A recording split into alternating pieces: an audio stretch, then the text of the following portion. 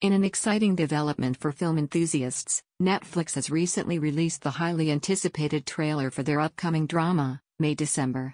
Starring internationally acclaimed actresses Natalie Portman and Julianne Moore, along with the talented actor Charles Melton, this film promises to captivate audiences with its intriguing narrative.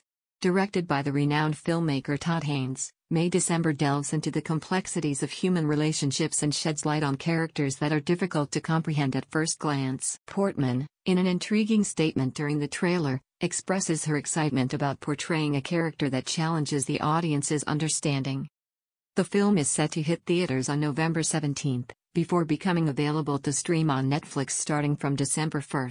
With the brilliant performances of Portman, Moore, and Melton, Audiences can expect an enthralling cinematic experience that explores the depths of human emotions and the intricate dynamics that exist within relationships.